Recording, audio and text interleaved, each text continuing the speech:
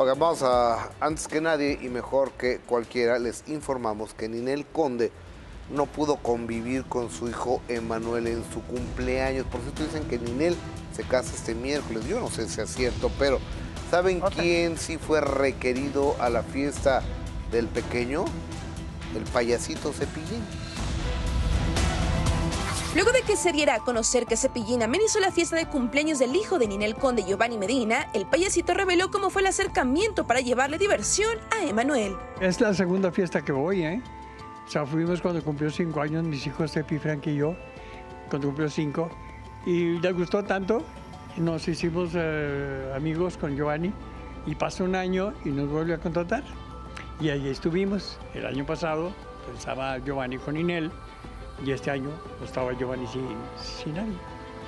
Pues, ni una novia siquiera, ya ves que ni él sí tiene un novio, pues ella, él no, ni una novia. Compartió cómo vio emocionalmente al pequeño. Lleva varios meses sin ver a su madre. Feliz de la vida. Y te lo voy a poner rápido. ¿Qué niño o niña no espera durante 365 días que llegue su día de cumpleaños? Es como preguntarle a un niño, oye, ¿extrañas tu escuela? Y te va a decir, extraño a mis amiguitos. Esto es igual.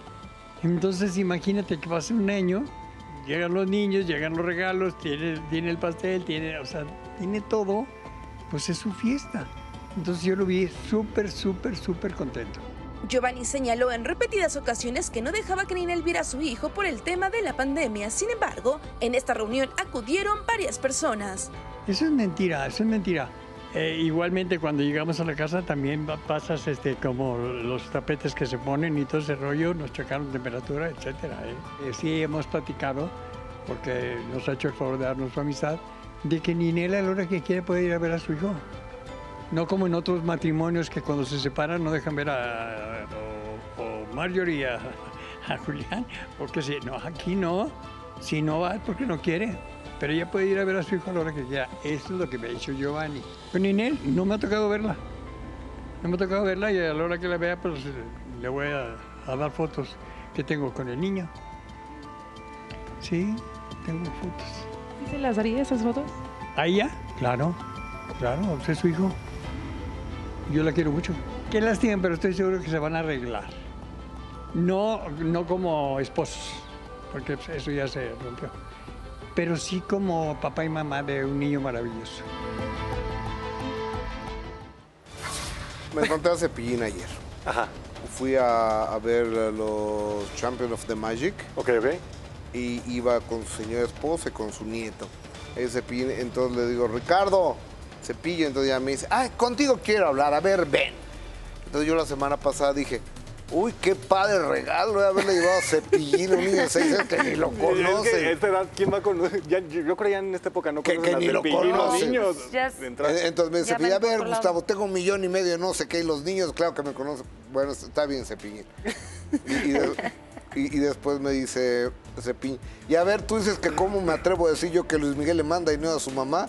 Pues, sí te la jalaste, Cepillín, la verdad. las cosas. Dice, a ver, ¿por qué un músico de Luis Miguel me dijo, es que Luis Miguel le manda dinero a su mamá?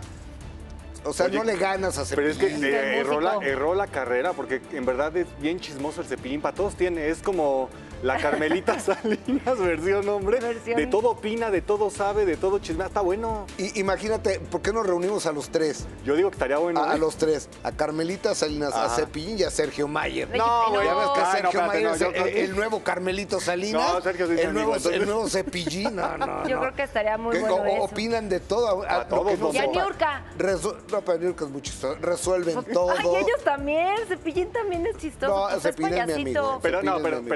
Pesadón de repente, ¿eh? El cepillín. Sí, sí, sí. Pero sí. sí es- Mayer, y sí Mayer, es simpático, no, por mi amigo eso. no. y Mayer. No, ese no, yo lo defiendo. No, ¿por qué? Es amigo mío, en verdad, es buena persona. O sea, bueno, conmigo. A, Conmigo a ver, sí. dime qué ha resuelto. Ah, mira, di- ha dime, luchado, dime qué ha o sea, luchó por lo de José José final, no pues, no. resolvió nada. Pero lo de los de fideicomisos ir. no lo resolvió. Pues, pero no fue cosa de él. Lo de Javier Ortiz, o sea, nomás anda No, ahí de ahí sí lo metiche. apoyó, ahí sí lo apoyó, Anda de metiche resolviendo las cosas. No, ahí sí, ahí sí le dolió un buen, en number verdad. one. Sí le dolió un buen y sí eran muy amigos, ¿eh? Sí, hay muy amigos, pero nomás va... Pues es que tú no puedes resolver la O sea, imagínate, si alguien se queda pobre y porque se quedó pobre, a todos tienes, a todos los que se queden pobres los No, tienes que ayudar. no. Pues no, tú, Pues tú es tienes la, la mano. filosofía del gobierno de ahorita. No, pero, bueno, se tú tienes pasa, que apoyar se pasa a pero- publicidad, que es que lo va a hacer, o sea, digo ya que sea el secretario de Cultura de la Cámara de Diputados, ¿en qué país estamos viviendo? Ay, no, yo digo, que, yo digo que regresemos cepillín. Sí, vamos a temas más amables. Ce- Cepillín, pero tú muy bien con tanta declaración, gracias amigo. Gracias por la información, cepillín. Tenemos informante oculto. Yo les quiero mejor ¿Oculto? contar otra cosa, ¿no? Ay, Vámonos ay. ya. Por otro lado, al ser parte del elenco de Cuarentenorio Cómico, hablando de él, payasito de la tele compartió su opinión referente a Eileen Mujica y el supuesto secuestro express que sufrió. A ver qué dijo ahora sí Cepillín. Cepillín, ex compañero y amigo de Aileen Mujica, opinó sobre la controversia que generó la actriz, luego de que asegurara había sufrido un secuestro express, motivo por el cual no estaría dos semanas en la obra El Cuarentenorio. Muchos pusieron en duda tal versión. Pues ya ni sé qué creer, oye. Ella, ella como artista es una mujer a todo dar, como compañera es una mujer a todo dar. Y si alguien le sorprendió fue a mí, que de repente ella anuncia, eh, ahora en el programa que tengo voy a decir qué me pasó de un secuestro allá en México y, y pues, eh, pues te da cosita, ¿no? Que- que diga eso. Luego ya viene la, la duda de a qué horas, cómo, pues a qué horas se levantó, a qué horas tomó el taxi, eh, platicó que caminó dos cuadras eh, con, con cuatro o cinco maletas, pues está canijo caminar dos cuadras como con cuatro o cinco maletas, o sea, eh, eh, viene la onda de la duda si fue o no fue cierto.